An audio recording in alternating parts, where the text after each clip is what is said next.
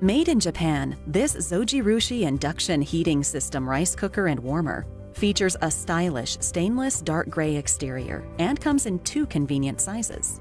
The black, thick spherical inner cooking pan distributes heat evenly and is nonstick coated for easy cleaning, and the inner lid is made of stainless steel and is detachable and washable.